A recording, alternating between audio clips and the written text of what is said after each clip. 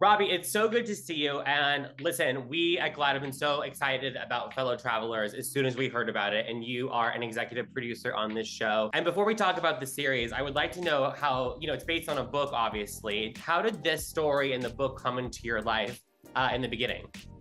Um, Ron and I have known each other now for about 10 years or uh, something like that. We, uh, we worked on My Policeman together. And while I don't know, it was probably a few months before we were actually going to start shooting My Policeman. He sent me um, a few books, but this was one of them, and I just I loved it. I read it over the weekend, and uh, and then we started talking about it, and it kind of you know spiraled from there.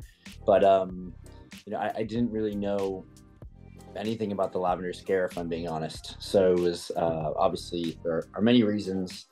Um, why I love the story, and I hope that people love the story. But uh, it was really interesting to kind of learn about the Lavender Scare as well in the book. You know, it was something that I wasn't super familiar with either. And then, uh, you know, watching this series, I, am lucky I got to see most of it um, before anyone else. Uh, but it's so well done and it's so interesting. And I think, you know, about so many times with with these projects of putting queer people back into the narrative and really going back and looking back at what it would have been like how important is it for you to be you know a part of telling these stories that really do show people what it could have been like to be a queer person? You know this is the 50s 60s 70s and you know 80s obviously. I think for the obvious reasons, you know, just as a gay man, you want to be part of these stories. And growing up, I remember how much, uh, you know, when in like Dawson's Creek, when there was like the first kiss, or yeah you know, A Single Man was like a movie I watched when I was a professional soccer player in closet. And I was like, oh, it's just so beautiful. And, and I hope I have a love story like this. So, you know, I, I obviously want to be part of these stories. Um, um, but even more than that, I've been, um, since even working on All American, like I've just been really connected to telling stories that are, you know, have underdogs or forbidden romance or, um, you know, about people that kind of, in the past have lived a little bit on the outside. Um, so, uh, or outsiders, and it's definitely how I felt, you know, as I was younger. And I, am sure a lot of people that read this or watch this, um, you know, have the same kind of feeling. So, you know, it's kind of just the characters and the books and the writers and directors that I'm drawn to, or people that also want to tell those kind of stories. And then you get to, you know, have an opportunity to have Matt Bomer and Jonathan Bailey really lead this, who are fantastic in this, um, both uh, LGBTQ actors, and you know, which is so important to be a part of telling the story. What was it like to get to, you know, share this experience of bringing, you know, this book into, you know, into television? You know, Matt, I, I think it was like shortly after Ron and I set this with Fremantle. Um, you know, we had a discussion with him about the book and having him come on to play Hawk and also be an EP. And he's been, um, I've known Matt a little bit for not, for a little while now. Uh, you know, we've been friends, and so it's it's been it's been really incredible to work with him in a lot of different ways. You know, he's he's extremely smart. He's not just like handsome, but he's extremely smart, and he's a really good person. You know, uh, I think anyone that knows him, you know, his character, he's just like just such a mensch. But on top of that, the thing that I learned and that I was so not surprised, but just I guess it was very impressive was like he he works incredibly hard. You know, up early, you know, when he would he wouldn't have much rest and he'd still be like, you know, working on different scenes and remembering his lines and just just so much stuff that I uh, found really inspiring. And also, you know, there's obviously times where you're exhausted on set and he as the lead is like setting the tone for, you know, being a professional and being prepared and all that stuff. So I was really impressed by him and, and Johnny you know, I'd known for a while because we auditioned him for my policeman, but you know, i would seen his work in the past and also seen him obviously in Bridgerton. But he also uh, really surprised me in a great way because he's just such an incredible actor and like such a good person and can really do so many different things. I mean, his part, as you've seen, uh, playing Tim is just so different than his part in Bridgerton, and he really can go to so many different places. So working both with both of them is really like a, a dream. And you know, you add on top of that, Allison Williams and Jelani Alladin, Noah Ricketts, and Aaron and Chris Bauer. But like, it's just we got so lucky with uh, this cast. Um, you know, a lot of them are you know part of the LGBTQ uh, plus community, um, which made I think just a little bit easier to tell this story, just because there was a lot that we didn't really have to explain to them. But you know, it was uh, it's just incredibly rewarding, and I and I think like the word lucky and privilege for me is uh, is really how I feel. Like I just I, I was around such incredible talents and just good people, so it was it made the process easy. Yeah, no, I mean it's such a like a dream team, and it's so good. I mean, can't wait for people to see it. Um, you know, one of, I, like I said, I hadn't read the book, but and one of the things that I was surprised, uh, or not surprised, I just wasn't expecting as much, was how much the Catholic Church and religion is a part of this story. Um, you know, and thinking about that, I know for you, that's something that you've talked about. You know, growing up Catholic.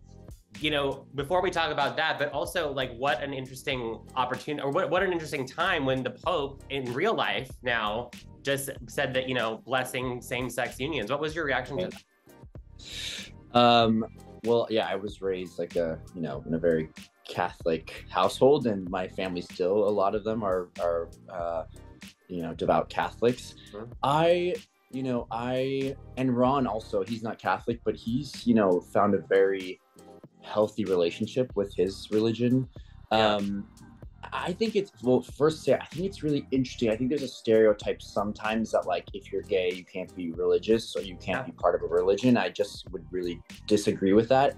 You Agreed. know, I am someone you know that was raised Catholic, but now I wouldn't necessarily say I'm a certain religion, but definitely have faith in different things and like really interested in all types of religions. I like the history of them. I love reading about I love reading and hearing stories about, you know, a number of religions. So, you know, for Tim and his kind of journey with religion, I, I find really interesting and not, you know, stereotypical at all. And, uh, you know, I hope uh, for the audience kind of, it just makes people think about, you know, um, gay men and women's history with religion and our relationship with religion. Um, but, uh, you know, it is interesting. You know, I, I think what's helpful, I mean, just to speak to the Pope, it's always helpful when someone like him mm-hmm. is more accepting, you know, in a lot of different ways because, you know, so many people like live and die by whatever the Pope says. So I definitely know there's people in my family who like would see something like that and have like texted me in the past, like, wow, did you see this? I'm like, okay, great. So it makes it makes a big difference. So, you know, I I I love Tim's story with religion and his struggle. I think it's very real. And um you know, I think uh, something very relatable for a lot of us. Yeah, and I know it, it, was such an issue. I got so many text messages about it, and I think it, you know, to your point, that's exactly what can happen. Like you said, when people who, you know, have a more traditional, you know, idea of things see something like that, I think there is potential, and, and so that's what right. it's about. And I think right. you know, I'm glad we're doing so much work to kind of also along with what you said about showing that you can be an LGBTQ person and also be someone of faith, and you can also be right. someone who is of faith and support the community. And so I love right. it. With this, it also, you know, you know, it, it, spans decades. And I think one of the important themes, obviously, is the inclusion of HIV and AIDS and the way, you know, that affected people, you know, in the 80s. And how was it for you to kind of be a part of telling that story and going back and, you know, kind of showing such a, a hard time for the community, but also an important one because we don't have enough still, you know, representation um, and inclusive stories. I think on television that really are are are, are showing that time. Right.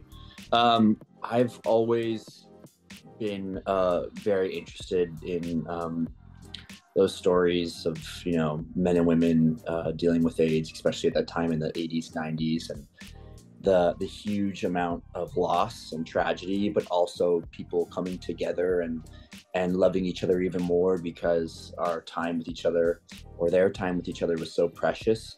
So um, you know, I, I think it's incredibly important, obviously, to tell those kind of stories and in any in any kind of way, whether it's writing or you know documentaries or movies or, or TV. So I, I again, I, I know I said earlier, but I, I feel lucky to be part of this project because you know it's entertaining. This is a love story it's a political thriller and it's not a history lesson but we still you know it's set in times during times where it was incredibly hard i think to be you know a gay man or woman or anyone that didn't look like uh, you know the stereotypical american.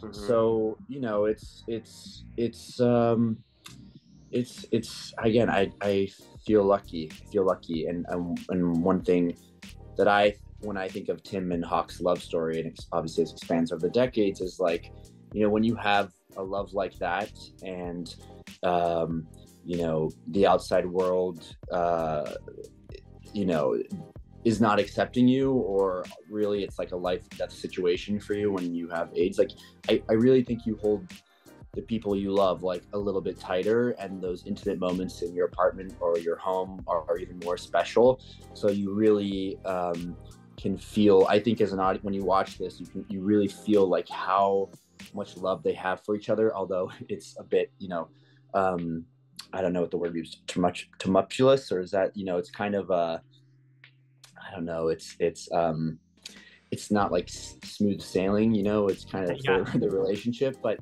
when they're with each other, you can just really get a sense, I think, of like how deep and how connected they are, how much love they have for each other. And I think that's because of, you know, the stakes of just being a gay man during all those decades, but definitely during the 50s and 80s when being, you know, gay in the United States was maybe two of the most dangerous times, mm-hmm. um, argu- arguably.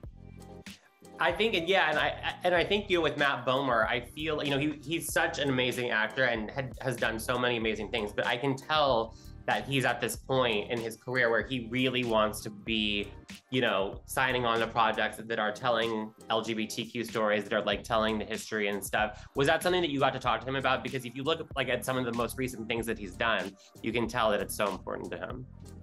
I think it is important to Matt. I haven't spoken to him about that, but I remember one day on set, or maybe this was even after I said, like, Matt, this is like, I was just like, Matt, it's so incredible that you are an out gay man that has a family and kids, and you've been in this, you know, in the normal heart, you've been in this, you know, you're in, in Maestro, obviously, fellow travelers. Like, it's really incredible that you um, have just like been such uh, a role model for people and an incredible actor, incredibly talented, very much, you know, everybody wants him to be in things, and he's not had to hide any parts of himself. So, you know, I haven't necessarily had that discussion with him, but I definitely told him like it's like what you've done is is is incredible and incredible for younger people like myself, but even younger people and and wow. and I mean I shouldn't even put an age on it. Like I think older people as well that get to see him be who he is with his family and out and about, and then also be in you know in fellow travelers and have these incredible roles. Um, so he's he's just so talented, and uh, again, lucky to have him as an EP on this show and also uh, just to be an actor in it. And I know, you know, we'll work together in the future for sure. Um, speaking of incredible people and family, how is your family? How is uh, Greg? Everyone's doing well? Everyone's doing well. You know, I think it's a little crazy on the world right now with yeah. politics and everything and the war, you know, in, in Israel and Gaza. Like it's, it's all a little crazy. So we are trying to keep the house as normal as possible. You know, kids going to school, and of course, keeping everyone safe. But you know, I, I would be lying to you if I didn't say we weren't also like, gosh, it just seems like, you know, people can't catch a break or just find some, you know, the strikes obviously, and mm-hmm. you know, so many people this summer that were like, you know, living in cars and losing apartments and how like it's just it's been um it's been a, a tough i don't know I would say six months, but obviously it's been longer than that. So, um, you know, it makes things like this, working on stuff like fellow travelers and being to like share, you know, I don't think my son and daughter will be watching this quite yet, but one day they will. And, and I know how proud I am of it and how much I think that they'll enjoy it and how interesting they'll find it. Um, well, yeah, no, thank you for sharing that. And it is such a heavy time in so many aspects, but right. it is so important that we still have these amazing program, these amazing stories. Um, so thank you so much for for the time today, and thank you so much for being for for telling this story. Um, I think people are really going to connect with it, um, and like I said, learn a lot. Like I, there was so much that I, you know, even I do know a lot about history. I didn't know a lot of these things, so I thought it was really. Really, really informative. Um, so, everyone, just a reminder you can catch Fellow Travelers starting October 27th on Showtime.